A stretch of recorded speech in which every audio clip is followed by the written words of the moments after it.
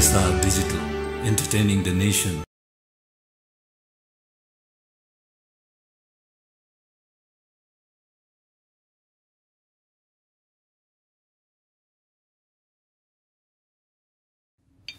कति तोला सुन छ अरे तपाईँहरूसँग? मेरो चाहिँ तिन केजी। मेरो पनि तिन केजी मात्रै हो। उहाँको चार केजी।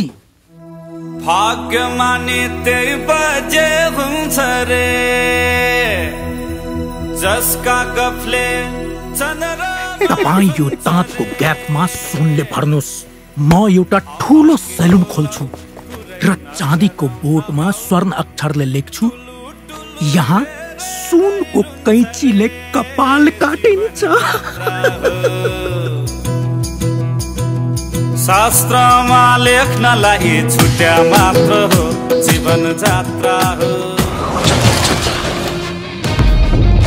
सुन। सुन्दैछु दाइ भन्नु न। सुन कहाँ छ? लासामा मर्दी गरेर। मऱ्यो भने श्राद्धै गरिदिन्छु सित्तैमा। त्यो लाने मान्छेको अनुहार कस्तो होला भनेर सोच्या सोचै सोच्या सोचै। यस्तो स्केच बन्यो दाइ लौ नि यो त म। मेरो दस केजी सुन रहेछ कहाँ लुगाएको छ? निकाल। सुन केजीमा भेट्न थाल्यो। आलु बेगुन जस्तो। दस लाग्यो भने सुन भेटिन्छ भन्थे सुन पत्ता लगाउने मेसिन हो केटा।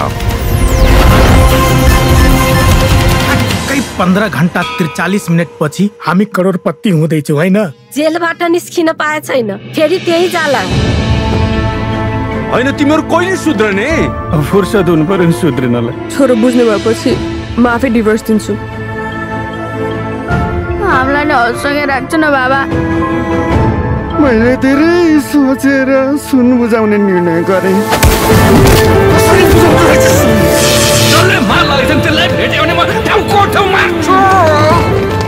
यो सबै सबै हामीलाई दुई असीले यसरी लहेटिरहेछ सुनवालाहरू धराधर हामीलाई खोजिरहेछ। जब उनीहरू थाक्छ त हाम्रो माल पाक्छ।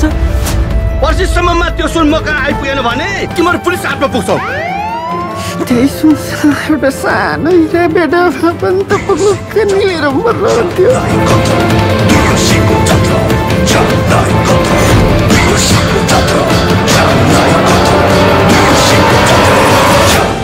तिन तिन तिन यो एउटा सम्पूलाई है पिचमा बुढी मिसाउन ल्याउँछ यार भोलि उसले दुइटा छोरा छ भनेर छोरा पनि मिसाउन ल्याउला रे छोरा रे यस्तो भागभण्डाको कुरो आयो भने म त अर्को बुढी ल्याउँछु। माहौल शान्त भएपछि नि यो सुनलाई कसरी व्हाइट बनाउने मलाई थाहा छ। हाय सुनलाई व्हाइट बनायो भने त चाँदी बन्छ।